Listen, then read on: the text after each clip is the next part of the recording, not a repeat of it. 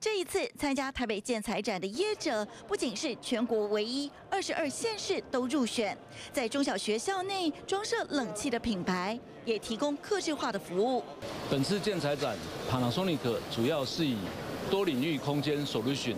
提出住宅空间及非住宅空间的解决方案。我们以日本技术开发多项智慧控制系统，并搭载在家电商品上，来满足消费者对家的渴望与需求。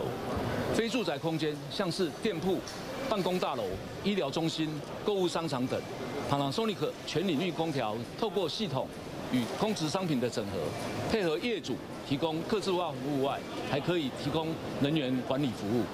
已经成为新常态的居家防疫，业者也提供住宅空间整体解决方案，包括省电效能极佳的空调设备，搭载独家专利健康科技，也能用手机或平板控制家中所有电器，营造智能家居生活。在后疫情时代下，每个人在家的时间变长了，